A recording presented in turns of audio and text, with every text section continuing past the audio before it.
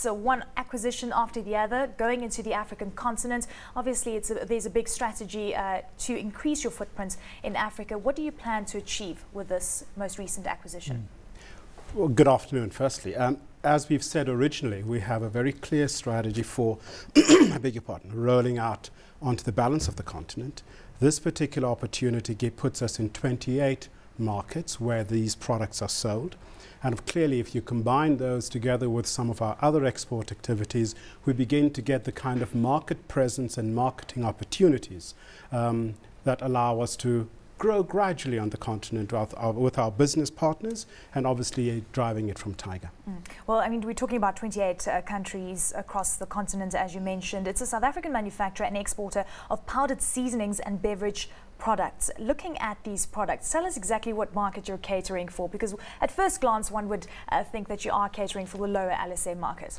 Well, absolutely correct. we're dealing with markets where we call it the sort of the bottom and the middle sector of the of the pyramid, where consumers, uh, everyday housewives and, and, and guys buy various products to either enhance their cooking experience or quench thirst. So mm -hmm. these markets travel well. They do well in those particular markets, uh, whether it's Nigeria, Mozambique, Tanzania, Angola, etc. So it works for the kind of branded, and I must state this, branded product that we continue to want to build on the African continent. Uh, if this acquisition does go through, you're talking about it being settled in cash. Does that come from cash from borrowings or cash from reserves on your balance sheet? So again, you know, as you know, Tiger is fairly cash flush at the moment, but certainly we will be paying for this with cash. There may be some borrowings involved, but uh, it's nothing that would put any strain on our balance sheet at all. As you know, we are ungeared at the moment. Well, taking a look at the, at the trading update as well, you are talking about margins being under pressure going forward. Looking at the margins, the historical margins for the company that you you're looking to acquire.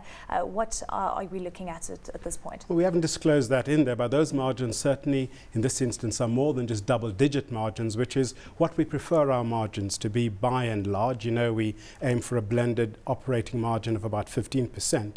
Generally, when buying into companies or buying companies on the continent, they tend to sit in single digit. This one sits in double digit, so we're very pleased with that. Um, the operations are based in Johannesburg.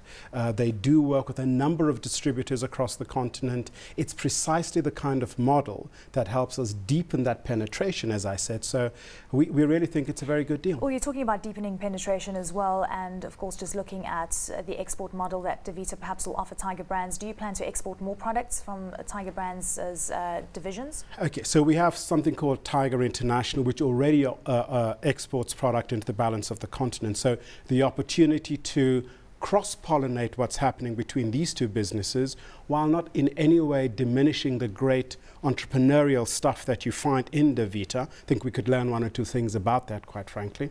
And then driving that product, we see great synergies, as we would put them, on a marketing level, at a distributor level.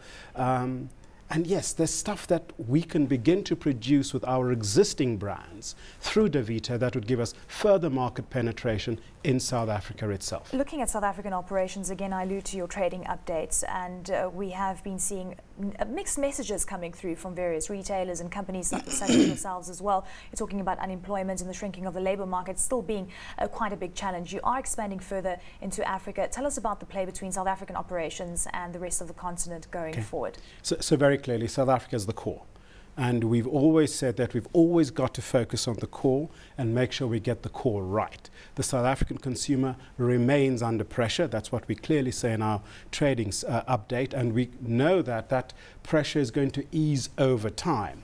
What we've also said is when we look at acquisitive opportunities in South Africa, they're fairly limited. And we've very definitely seen those acquisitive opportunities outside South Africa, primarily on the African continent, hence Ethiopia, hence Nigeria, hence um, Cameroon, hence Kenya. And we will continue looking for those. So that's the interplay between the two. But remember, the balance of the continent will be relatively small still relative to what we do back home. When you say you'll keep looking for acquisitions, does that mean we can expect another uh, announcement soon from no, Tiger no, Brands? That's not what I'm saying at all. I'm saying we will continue to look yeah. for the right acquisitions Fantastic. on the continent.